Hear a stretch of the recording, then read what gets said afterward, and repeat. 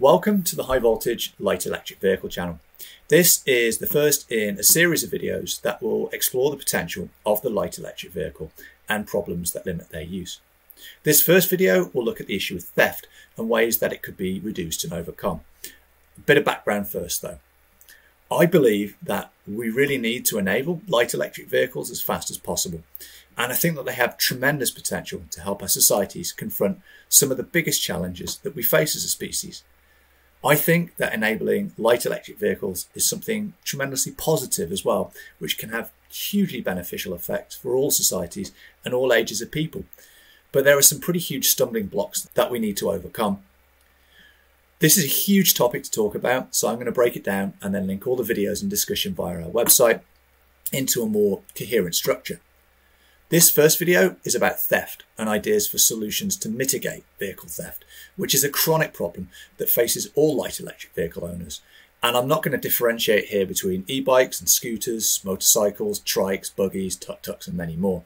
They are all light electric vehicles and they all suffer from the problem of theft. It's going to be very difficult to encourage the uptake and use of light electric vehicles if you're constantly anxious that someone's going to steal your transport at any time. Who wants to take their light electric vehicle out if by the time you get back with your shopping or the movie is over, some thieving git has stolen your ride? The main issue is that the vehicles are by their nature light and therefore easy to pick up and throw in a truck. They very rarely come with any kind of theft prevention devices beyond standard things like simple keys or the locks that you can carry with you to chain them up. I think that this is a problem that can be addressed at three levels. The first is the vehicles themselves, the second is infrastructure for parking and security. And the third is monitoring and police response. So let's start with the vehicles themselves. If I was spending over $5,000 on a light electric vehicle, and this is on the low end for quite a lot of things, I would want the anti-theft and vehicle recovery as front and center of the design. And it simply isn't. Even really expensive bikes, like a $10,000 plus specialized or a $10,000 cake bike, has no features as standard that are available either to make theft like harder or less palatable or to make the bikes easier to recover. On a car, you have immobilizers and steering locks, integrated GPS tracking, motion sensors, and you can add some of these things, but it's not by design.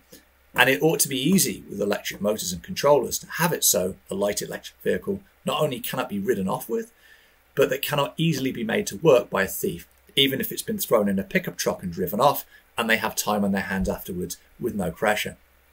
I think that anti-theft features should be built into both the motors and controllers that cannot be deactivated without disassembly, perhaps keyed to a rider's cell phone.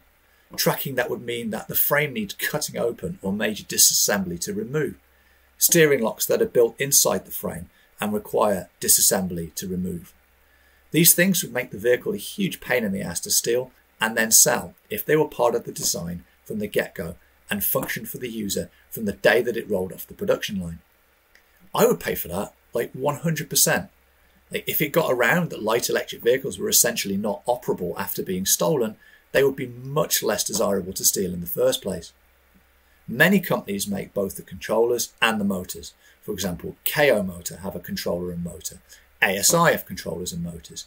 QS motor have controllers and motors. So it should be pretty easy to key them together and implement anti-theft locking devices that lock down the motor unless the owner is using it. These would have benefits for safety as well beyond the limits of theft concerns. Um, the second area, let's, let's look at um, infrastructure. These vehicles are small and easy to throw in a pickup or a van and take, even if they are not ridden off with. There is no lock that you can buy that will stop a thief using tools that they can get from any old hardware store. But I think we can easily create parking and storage infrastructure to foil thieves and not really for that much investment. Right now, if you take your bike somewhere, you have to lock it to a metal stall or similar structure with locks that we know are crap and easily cut or broken. We can change that, so we lock them into solid cages with multi-point locking doors. One that has other security features, one that's monitored with cameras, that guards that patrol car parks anyway can keep an eye on. Like every office building in the land could have secure pods that light electric vehicles could slot into. They could even charge for them. And because light electric vehicles are much more compact than cars, you get four or more in the same space that a regular car would take up. Infrastructure costs money, but it costs a hell of a lot less money and resources to make secure parking pods for light electric vehicles than it would be to build out a hydrogen based supply chain. If a thief has to cut through a cage with alarms and cameras with the chance of a guard and patrol catching them, then they are much less of a target. We have no problems covering the ground with parking spaces for cars. What about putting in smart infrastructure for light electric vehicles so that people feel confident that they will not be stuck without transport because their vehicle was stolen?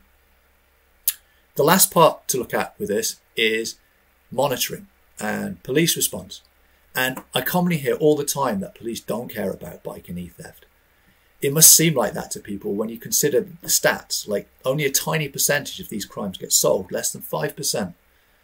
The issue is that it's really hard to solve the crime and resources are spread really thin. Bikes are easily moved, changed, resold, and stripped apart. However, if it was easy for police to track and recover a bike, they might be less desirable to steal because the recovery rates would go up. We have no problems linking our homes to security monitoring companies that then alert police and do tracking. Why can't we use the technology for bikes? Surely there is profit for a company that will monitor your bike, track it, and report it when it's moved to your cell phone. Ideally, these would be options that came as part of the bike package. The company could then even work hand in glove with the police, alerting them and guiding them to a stolen vehicle.